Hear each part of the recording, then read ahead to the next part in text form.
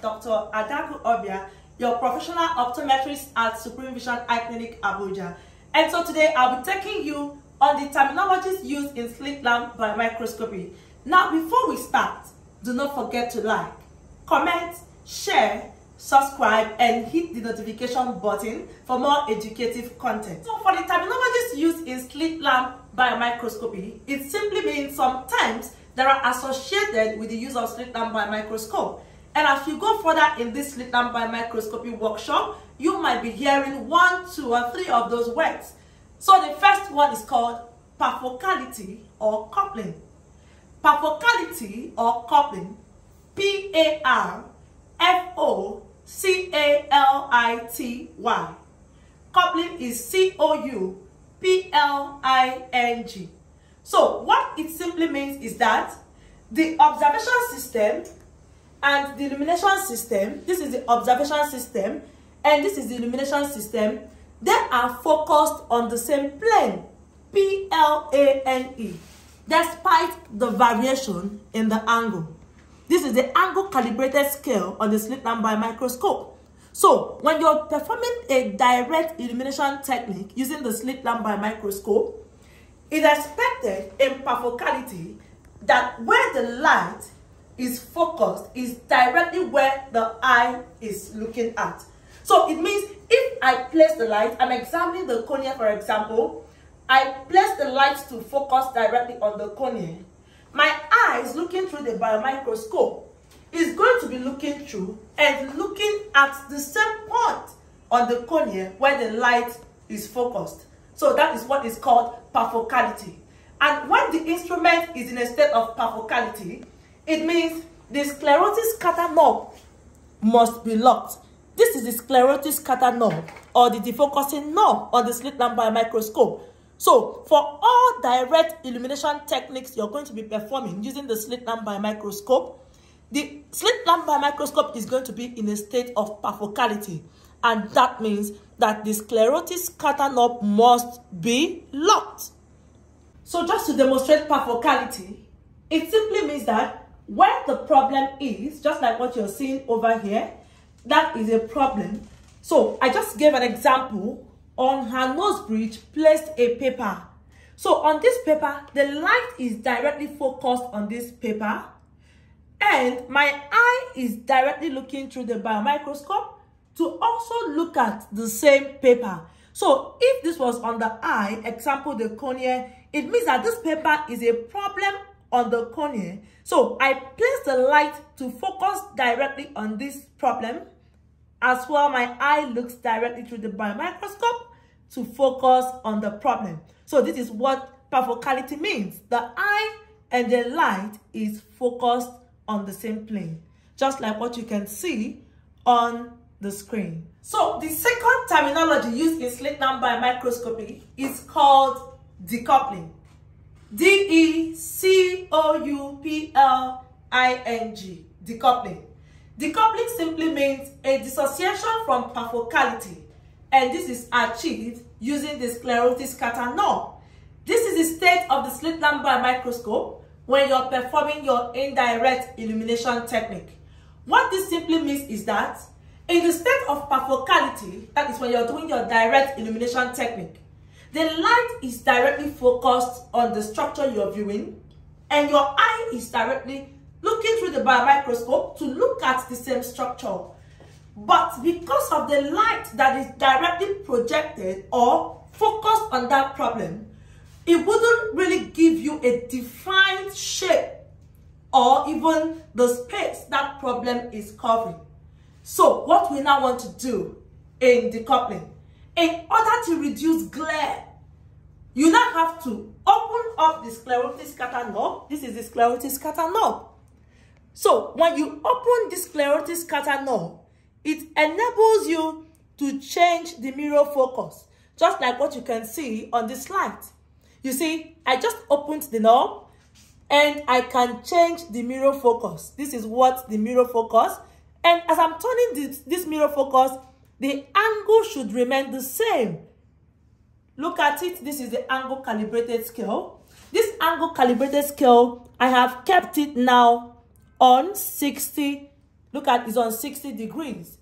So while I'm changing the mirror focus, look at what I'm doing. You gently keep turning this. You can gently keep turning this. As you're changing the mirror focus, the angle here remains the same. Watch. The angle remains the same. I'm not pushing this instrument like this. I'm not moving it like this. It is just a change in the mirror focus, which is the focus of the light. So when you open the sclerotic scatter knob and change this light focus or this mirror focus, the light is now directly going to be focused on an adjacent structure that is beside what you want to examine. So if I place this light at the adjacent structure, it means it's going to be giving me a shining appearance there. The shadow casted from that light now gives me a cool background to view whatever thing I want to see. So I want to examine the nose. Example, I wouldn't place this light directly on the nose. I have to place it on my cheek. So on my cheek is giving a shining appearance. It will now give me a dark background here. Why the problem I'm looking at is going to appear white on a dark background. This is what decoupling is all about. And that is going to be the state of your slit lamp biomicroscope for all indirect illumination technique. So for easy understanding of what perfocality and decoupling is, of what coupling and decoupling is, I'm going to be demonstrating. Now, in perfocality, your eyes are looking through the biomicroscope and then the light is directly focused on the problem. So it means where the eye is looking is directly where the light is focused, just like what you can see on the screen. But in decoupling, which is dissociation from perfocality, all we want to do is to unlock the sclerotic scatter knob. This is the sclerotic scatter knob or the defocusing knob. And then you just have to change the mirror focus.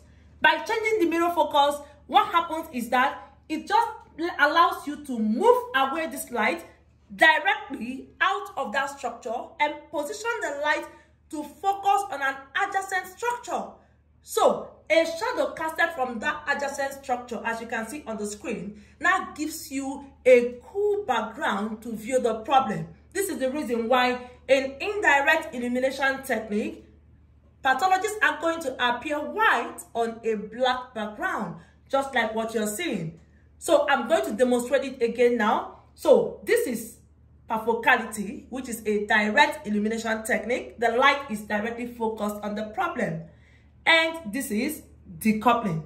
Why I'm doing perfocality and decoupling, coupling and decoupling, coupling and decoupling, please you have to take note of the angle because the angle remains the same. Here, the angle here is zero degree. This is just zero on this angle calibrated scale. So, why I change the mirror focus, you can see I'm not moving the angle. The angle is not moved. Just change the mirror focus. Please do not go drag this angle like this when you're moving. Please, this is not advisable. Please, it's not advisable to be dragging all this along. This is not indirect illumination technique. The same time, do not move the slit lamp biomicroscope like this. Because if that was a problem I was showing, you see, when you move the instrument like this, the slit lamp, it is still going to allow you to focus on that problem. So please do not move your instrument like this to the left hand side. You're moving to the right hand side. Now you're moving the slit lamp biomicroscope. You now focus it directly on this problem you're viewing on the eye. No. The slit lamp biomicroscope remains static. The angle remains static. The only thing you are going to tamper, tamper with is just the sclerotic scatter which changes the light focus. Just the sclerotic scatter. So this is what decoupling means, and this is what perfocality means. This is decoupling, and this is perfocality. Adjacent to the structure, giving you a white object on a black background directly focused on the problem, which is perfocality. So the next terminology is called isocentric. So the third terminology used in slit lamp biomicroscopy is called isocentric. I-S-O C-E-N-T-R-I-C. Isocentric simply means that the observation system, which is this, and the illumination system, they are centered at the same place with an angle of zero on the angle calibrated scale. This is what is called isocentric. So the isocentric is the position your slit lamp biomicroscope should be when you are performing fundoscopy with your Volk lens using the slit lamp biomicroscope. As well, if you're performing a retro direct illumination technique of the crystalline lens, the instrument should be in a state of isocentric. Finally, the last but not the least on the terminologies used in slit lamp biomicroscopy is called decentration. D-E-C-E-N-T-R-A-T-I-O-N, decentration. Decentration simply means a vertical displacement of the illumination system from isocentric position. First is isocentric position. So isocentric position is what you're seeing. The observation system and the illumination system, they are in a state of isocentric. Now, vertically displace the illumination system. This is my illumination system. This is called a decentration lash. Now, this decentration lash, when you hold it like this and press inside, it helps you to tilt this illumination system. So what decentration means is that with this instrument in a state of isocentric, you have to vertically displace the illumination system. Watch what I'm doing. As I press in, you can see this instrument is tilting. As I press in, it is tilting. When you're performing fundoscopy using the slit lamp by microscope, please, you're going to decenter the instrument. The reason for decentering the instrument is that you want to have a more superior or deeper view of the retina. Just like when you're doing your ophthalmoscopy. Remember, when you just get in the eye, what you see in ophthalmoscopy, it is just the posterior 80 degrees. So if there is need for you to have a more superior view of the retina, you have to tilt your head. That is what you're doing in decentration. So as you tilt this illumination system, it focuses the light more superiorly and as well gives you a better view. At the same time as you're decentering this instrument, as you're vertically displacing the illumination system, it also helps to eliminate or reduce artifacts on the retina and gives you a better view. So this is the last of the terminologies used in slit lamp by microscopy. Next, I'll be taking you now on the chronology used in slit lamp by microscopy. So after the terminologies used in slit lamp by microscopy, next we'll be taking is the chronology used in slit lamp biomicroscopy. What is chronology talking about? It simply refers to the step-by-step -step approach, the sequential approach the methodology by which the structures of the eye is examined from anterior to the posterior. That is from the external structures of the eye to the internal structures of the eye. So the first structure to be examined is the eyelid. The eyelid, that is the superior eyelid and the inferior eyelid. After the eyelid, the next structure is the eyelid margin, which is the superior eyelid margin and the inferior eyelid margin. Next is the tear film. The next is the conjunctiva. After the conjunctiva, the next thing is now the cornea is what you need to examine. After the cornea, next is now the aqueous humor. After the aqueous humor is now the iris. After the iris is the crystalline lens. After the crystalline lens is the vitreous humor.